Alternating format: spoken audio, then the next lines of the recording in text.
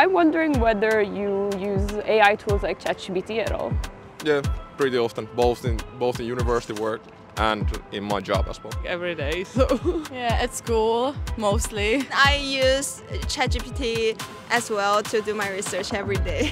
Wow. I can't live without it. Sometimes, let's be honest, recently I found out, I didn't know, I was quite like, yeah, uninformed that it's quite bad for the environment. I didn't actually know that until a few weeks ago, so I've kind of tried not to use it as much. We're in Helsinki, Finland, and just over 30 kilometers from here, a bunch of data centers are being built. Data centers are the physical manifestation of where everything we store online ends up. With the explosion of artificial intelligence in Europe, we'll see more and more of them. But do people know how much their daily use of AI costs in terms of energy? No, I don't know figures, but I do know it's not great.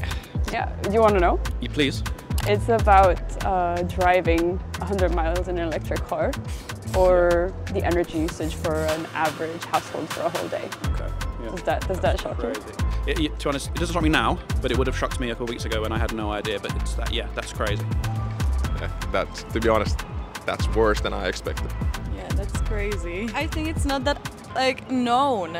You know, like, people don't talk about it that much. Maybe, like, in our age, but I've never heard it on any news or something. Yeah, I know that um, because training a model is really like a cost of energy. Some of the researchers could like make efforts on this area, like to make artificial intelligence more benefit for people, but not like destroying our planet.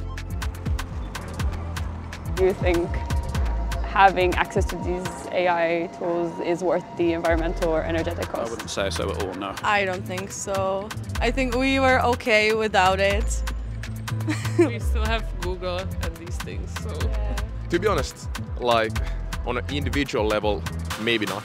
But the problem is that if everyone else is using ChatGPT, especially in the working life, you basically put yourself in the disadvantage if you if you don't use it. It's like something that you need to adapt to or you will be missing out of, of different chances. For doing research, I don't think that I can live without AI. But I don't think that is essential for our daily life or happiness actually.